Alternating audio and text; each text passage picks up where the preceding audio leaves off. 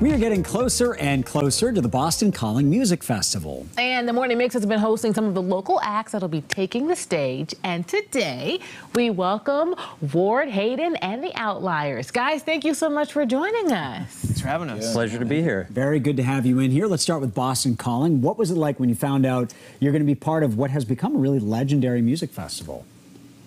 We were thrilled. I mean, uh, we've been wanting to play Boston Calling uh, pretty much since it began. And uh, we're over the moon. We, we kind of were, we put out, we got crazy last year. We put out two albums in a year. Wow. Uh, any band out there, don't ever do that. It's, it's, it's insane. Uh, but uh, it got us on the radar of Boston Calling, and we're, we're thr thrilled to be playing. And just wait until they hear you. You're going to be on a lot more people's radars. I heard a little bit while they were practicing, but no spoilers yet. We have some more questions. um, tell us about your musical journey. How did you guys get together and say, hey, listen, we're going to make some beautiful music? How did that all go down? Uh, it, it, sort of fate, honestly. Uh, Josh and I have known each other uh, for well over a decade. Yeah, like Uh, 15 years. Yeah, and We haven't played together that long, but we've known each other for like 15 years. In each other's orbit. Uh, the stars aligned. We started playing, um, and then we we needed a bass player. We had met Greg in Northampton. Uh, he's actually f- originally from Brockton, Massachusetts. Heyo, nice. now he lives out in Western Mass, and uh, his old band had opened for us. We met him. We stayed in touch. We needed a bass player. We called Greg, and Sam is another guy who uh, he- and I have just known each other for years and years Yeah, now. Uh, just the Boston music scene. Very cool. You're from Scituate, and then you're saying you're, you're all kind of in this Massachusetts orbit. So, how do you have such a country sound? What drew you to that genre? Uh, very good question, uh, because we are true outliers uh, in that we are from Scituate Yeah. uh, and play country music. But I grew up in a country music household. It was my mother's music. As I got older, uh, the lyrics, the just the the emotional uh, components of the song just started to to resonate more.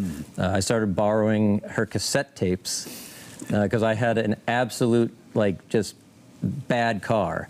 Uh, uh, shout out Ernie. Wasn't Boch. it- wasn't a bad truck? The- uh, it was Wasn't a truck? It, It it was was later a truck, but, but, but if, if Ernie Boch would like to hook me up with, with a new, uh, better truck, I would take that. Come on down. I, I just ended up with this terrible car that uh, the radio didn't work. I had nothing to listen to. I started borrowing her tapes, and uh, it changed the entire course of my life. It was, it, again, I think it was fate, um, and it's it, it's led me down a, a very uh, unexpected path, I would say. Listen, moms always play that integral role, even when they don't know it, right? So you're like, I'm just gonna, I'm just gonna borrow a couple of these tapes, and the next thing you know, you're making country music. we love it. You were in tour in Europe recently. Tell us a little bit about that. That was great. Uh, Europe, Scandinavia, they've been, it's been really, really good to go over there. Uh, I didn't travel a lot when I was a kid. Um, you know, I kind of never left my hometown of Scituate until I got into my 20s. And uh, it's just been so nice to go over there just to meet different people, experience different cultures, uh, and the reception has been really nice. I mean, uh, I think we've done three or four tours now since the world kind of came back. Uh, we just got back from Spain and Sweden. Uh, we'll be home for the summer and then back to Norway, Sweden, and Finland in the fall. Wow, that's so cool. The Scandinavians dig you guys. Uh, what bands are you looking forward to at Boston Calling? I'm interested in what each of you is most excited to see on that Boston Calling stage.